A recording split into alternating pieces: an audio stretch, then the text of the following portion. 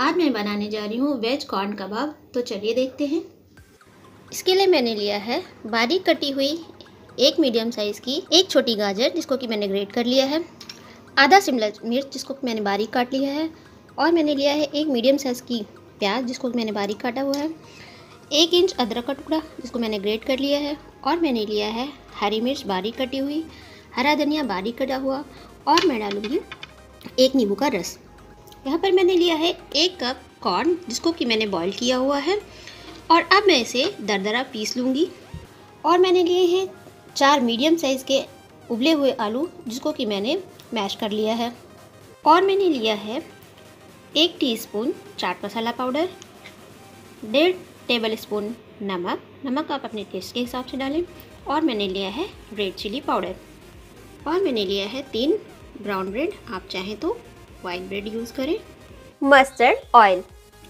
और अब मैं अपने बॉईल किए हुए कॉर्न को दरदरा पीस लूँगी। थोड़े कॉर्न मैंने बचा लिए हैं बाकी को मैं पीस लूँगी। कॉर्न हमारे पीस गए हैं और इसमें पानी डालने की बिल्कुल ज़रूरत नहीं है और इसे मैंने मोटा मोटा ही पीसा है। और इसी तरह से हम अपने तीन ब्रेड स्लाइस को भी मिक्सर में पीस लेंगे या फिर इसे हाथ से अपने तोड़ तोड़ करके भी डाल के मैश कर सकते हैं।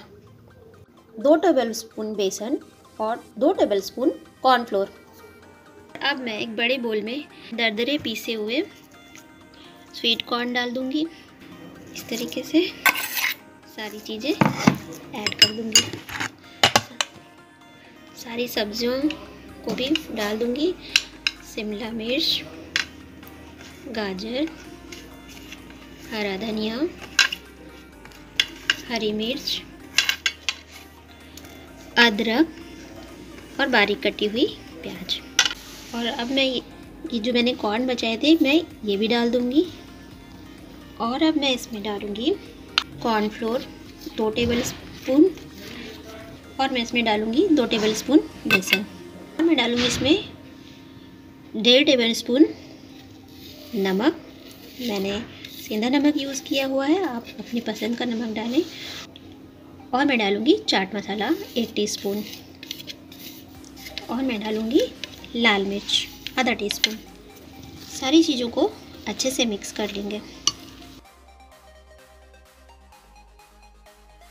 और अब मैं इसमें नींबू का रस डाल दूँगी।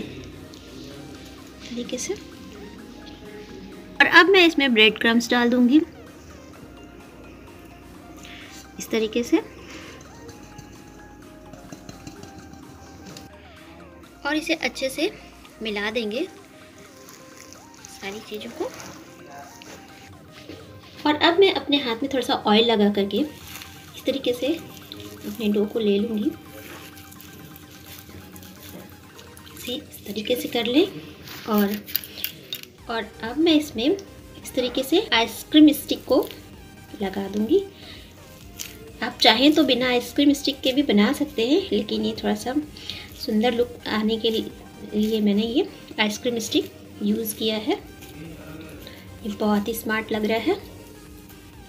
इस तरीके से हम अपने सारे कबाब रेडी कर लेंगे। इस तरीके से हम अपने सारे कॉर्न कबाब रेडी कर लेंगे और अब हम इसे डीप फ्राई करेंगे।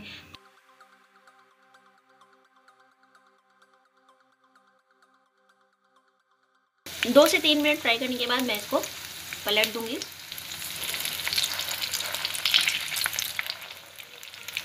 तरीके से पलट देंगे और गोल्डन ब्राउन होने तक फ्राई करेंगे।